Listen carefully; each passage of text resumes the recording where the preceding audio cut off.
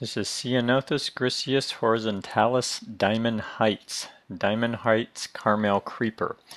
Um, apparently it was uh, found as a sport of a Ceanothus griseus horizontalis in San Francisco area.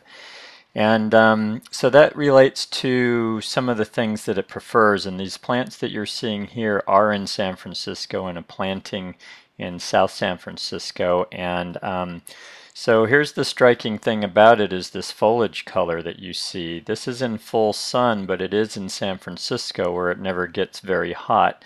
Um, 75 to 80 degrees is considered a very hot day there. Uh, so these would prefer, if you're in a hot inland valley, they would prefer part shade, probably protection from the hottest part of the day. And um, so, uh, and but whereas if you're near the coast and it's cooler, these can take full sun as you see here. I would think that these are two to three year old plants. Uh, they say that they get about 12 inches high. None of the ones in this planting are over six inches high. They're very low. Um, very unusual for this type of a ceanothus, but excellent from a plant design standpoint. Here you see four of them out there with the gravel mulch around them and just staying very low. And then the spread they say is four to six feet wide, so that seems to be consistent with what I'm seeing. Um, well, variegated foliages in design for me are really a treat. They're a lot to work off of and play with in terms of color play. Uh, like other yellow foliage plants though, these can burn. So if you get them in a hot area and you put them in full sun, they may not take it very well. Here by the coast, they're taking it just fine, but and that colors them up very nicely. Like Coleonema Sunset Gold is a good example of that. They can burn if you don't give them enough moisture inland, whereas uh, by the coast they can take full sun no problem. So you know, be careful about the the lighting you give these is a, a bigger point.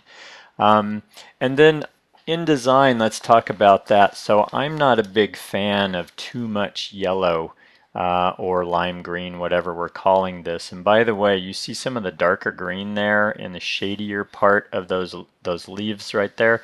Well, that's what happens with a lot of uh, plants like this. Is if you put them in shade, you will get less of the yellow colorization coloration that you're seeing there. And so just be aware of how that's going to affect what you're designing it to go with because usually what you're doing with something like this in my experience anyway is this is an accent less more so than a show. I don't like using this some, something this bright in such a big area or a big sprawl. I like to use it as uh, kind of an impact and um, but too much yellow for me is just too much period so I would be more inclined in design to use this in splashes of one or two plants with some very deep greens or some other colors to play off of it um, as a design element. These are low water, they are not deer resistant. Ceanothus griseus horizontalis deer tend to love by the way in my experience so I'm not going to give that a deer rating that uh, you would want. Uh, but once established, very much a, a, a, California native and low water. So that's one of the good things about this one. You can also see that there's a lot of dead leaves trapped in and amongst this. You know, I, I think that's interesting uh, to point out that it makes it hard to maintain. So I don't love the idea of this being under a deciduous tree because to me that just turns into a maintenance headache. So probably uh, would recommend against that. Oh, before I forget, uh, hardiness 20 to 25 degrees Fahrenheit is the low end of what this can handle. Can handle a lot of heat, again, if it's protected from hot afternoon sun, which would cause burning.